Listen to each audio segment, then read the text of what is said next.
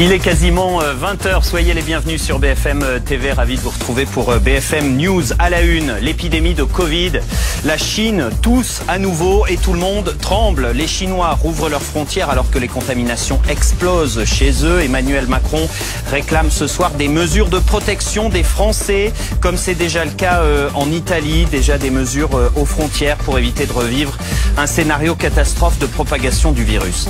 Ça pourrait être une bonne résolution pour la nouvelle année essayer de moins prendre sa voiture car à partir du 1er janvier, adieu les ristournes du gouvernement et de Total à la pompe.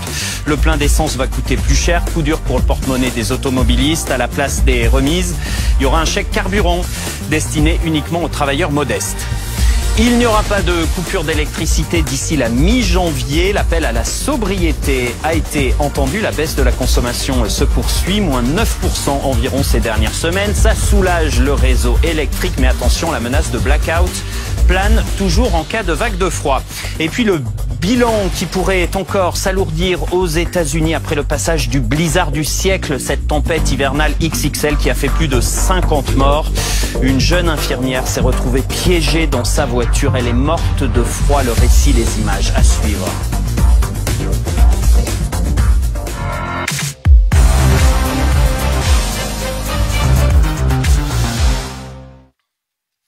Plus que trois jours, donc, pour profiter de la ristourne du gouvernement à la pompe, profiter également de la ristourne euh, proposée par euh, Total, car à partir du 1er janvier, terminé, fini les remises euh, et, et, les ristournes. À la place, ce sera donc un chèque carburant sous condition de revenus. On va en parler dans un instant, mais d'abord, on prend la direction de l'Essonne à Villebon-sur-Yvette pour retrouver Fanny Regnault au niveau d'une station-service.